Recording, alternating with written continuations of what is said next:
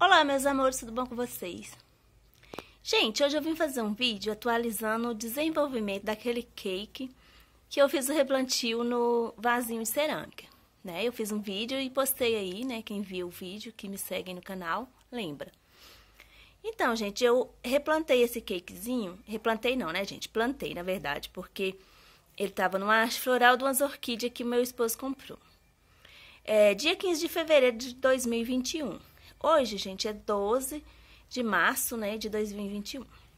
Eu vim mostrar para vocês, meus amores, o desenvolvimento. Eu tinha colocado ele ali na madeira da minha garagem, porém, gente, já tem umas duas semanas que eu retirei de lá. Por quê? Eu retirei. Lá tava batendo sol muito quente, né? E ele não tava, assim, dando uma boa aparência nas folhas, porque ainda não tava desenvolvendo as raízes. Aí, gente, eu pedi meu esposo para colocar ele é, no muro, né? Onde a, a água que rega as minhas orquídeas, que ele fez uma irrigação automatizada para mim, bater esses respingos toda vez que irrigasse. Vocês podem perceber que tá com os respinguinhos de água, ó. E aqui, gente, fica sempre úmido, não encharcado, tá, meus amores? Porque essa rega, ela é feita quatro vezes ao dia é, um minuto de rega de é, quatro vezes por dia, né? Ou, ou seja, são quatro minutos de rega ao dia. O dispositivo lá liga, faz uma rega de um minuto e daí umas horas torna a fazer novamente mais uma rega de um minuto. Eu não tenho certeza se é de duas ou, ou de três em três horas. Depois vou conferir com meu esposo certinho aqui e passo pra vocês. Esses dias o sol tá muito quente, né? Parou de chover, ficou chovendo uns quatro dias seguidos, mas já tá com três dias que não chove. E quando não chove, gente, esquenta muito. Aí começamos a fazer a rega nas orquídeas ontem. E eu vim mostrar o desenvolvimento, meus amores. Ó, folhinha nova, gente, ó. Folhinha nova, que interessante, né?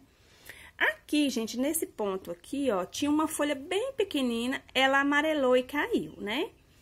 Esses furos aqui, gente, já tinha, quando eu fiz o replantio. Eu acredito que isso aqui foi lesma lá da antiga dona. Quando eu trouxe, já tinha esses furinhos aqui, ó.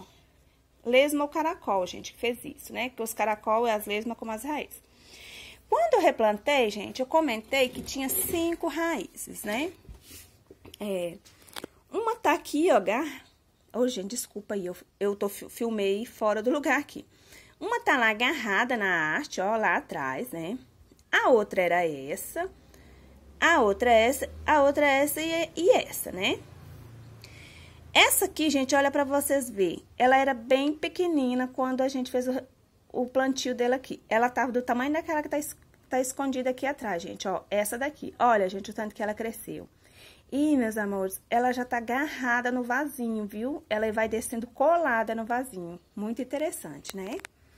E, gente, a outra, uma ficou pra baixo, né? A outra já tá vindo ponteirinha nova, não sei se vai dar pra ver, olha aqui, ó, na ponta da minha unha, né? Começou a sair a ponteira e essa também, gente, ó. E a outra, gente, já cresceu um tantão, aqui ficou embaixo do esfagno, ó. Aqui, ó, a ponteira, ó. Essa ponteira aqui cresceu depois do replantio, meus amores. Mas, gente, pra minha surpresa, nessas duas últimas semanas, apontou mais duas raízes, né?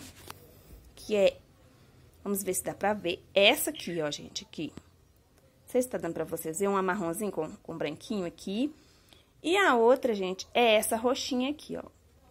Gente, é... Ou seja, ele já pegou aqui, gente, no vasinho, né? Se vocês lembram, eu fiz o replantio dele no vasinho de cerâmica com esfagno, né? O musgo, né? Cada um lugar tem um. Não foi o chileno, gente, é os comum mesmo, né? E a expandida, ó, a gila expandida tá até aparecendo aqui, que o músico abaixou um pouquinho. Aqui eu coloquei o meu osmoscótico. E, gente, uma vez na semana eu tô batendo enraizador em todas as minhas orquídeas. Mas depois, gente, eu percebi que nem ia haver necessidade. Sabe por quê? O que eu descobri? Eu descobri que as orquídeas, gente, que tá na chuva, que tá pegando chuva, das 33 orquídeas que eu comprei na mão da, daquele rapazinho, que eu comentei no vídeo, que a dona das orquídeas veio a falecer e a gente comprou as orquídeas. Duas veio com arte florais e as outras nenhuma veio com arte. Porém, meus amores, já tem mais quatro pés que já estão com hastes florais. Depois eu vou fazer um vídeo delas mostrando pra vocês. E, gente, como a gente plantou, quando a gente plantou, ficou uma semana sem chover. Depois começou a chover, intercala e chove de novo. Eu percebi, meus amores, que as orquídeas que estavam na chuva, elas saiu raízes muito rapidamente. Porque, gente, tem pouco tempo que eu comprei essas orquídeas. Deve ter mais ou menos em torno de um, de um mês. Igual esse cake que eu replantei aqui, não tem nenhum mês para vocês verem, né? E já saiu essas duas raízes novas, já veio folhinha nova. E as ponteiras continuou crescendo, não teve nenhum problema. Eu descobri, gente, que as orquídeas na chuva, alguém que cultiva aí deve saber, é maravilhoso para enraizar, gente. Eu fiquei muito contente quando eu descobri isso. Eu andei pesquisando, né, no YouTube também tem vídeo falando que as orquídeas que é cultivada na chuva, quando é replantada, elas nascem é, raiz meio que imediato, porque a água da chuva é ótima para as orquídeas. Com exceção, gente, de quando parar de chover, a gente tem que ficar de olho nos caracol e nas lesmas, que se der, come todas as raízes, né? É, mas graças a Deus, andei observando os meus cachepôs, eu só vi caracol em uma, é, Phalaenopsis, e uma catleia. Aí eu coloquei o lesmec, que é esse, esse, esse pontinho azul aqui, gente, ó, é um veneninho para lesma e caracol. Coloquei em todos os cachepôs, né, gente? Sem fazer exceção, porque vai que de um pula pro outro, porque são bem próximos. E, gente, eu fiquei muito feliz em descobrir que as minhas orquídeas... Só tem uma, meus amores, que ainda não deu raiz. Uma sozinha, olha pra você ver. De 33 orquídeas, só uma não ter saído raiz. Isso é maravilhoso, né, gente? Maravilhoso. Eu fiquei apaixonada, né, com a com o desenvolvimento das minhas orquídeas, né?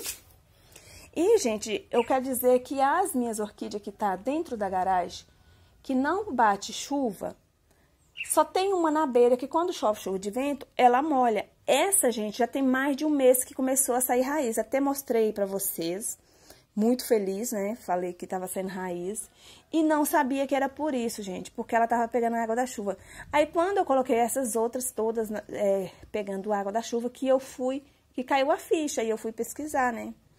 Gente, e tá tudo linda. Depois eu vou mostrar um vídeo, fazer um vídeo pra vocês mostrando como que tá. Tem orquídea minha que tá com mais de 15 raízes, que saiu nas raízes velhas, que estava bem velhinha. E as que estão na minha garagem, gente, só essa que pega a chuva quando chove grosso de vento e respinga nela seu raiz. As outras nenhuma, gente. Muito interessante isso aí. Eu gostei, né, de, de desse, dessa experiência de saber que as orquídeas é ótimo para enraizar pegando chuva. Fiquei muito feliz. Mas o meu vídeo de hoje, o foco mesmo, gente, era isso aqui, mostrar o desenvolvimento, né, daquele cakezinho que eu plantei. É, no início, gente, ele deu uma leve murchada nas folhas, ó, deu até uma, uma leve queimadinha aqui, mas é comum, né, gente? Como vocês viram, eu cortei ele, ele tava num pé de, de, da orquídea, que é a orquídea mãe, né, que é, era isso aqui, gente. Vocês podem observar, ó, que nem, nem morreu ainda, ó, tá verdinho. Esse cake tá aqui nessa haste, que era uma haste floral, né? Vocês viram aí no vídeo. Deu uma leve murchada na primeira semana e logo quando eu coloquei na chuva, gente, ele já amou. E foi isso, gente. Eu vim mostrar o desenvolvimento, né? Falar que as ponteiras é, estão crescendo e que vem mais duas raízes novas e já veio de presente uma folhinha nova, que é essa, né? E esse foi nosso vídeo de hoje. Espero que vocês tenham gostado de ver o desenvolvimento do nosso cake e até o próximo vídeo. Ciao!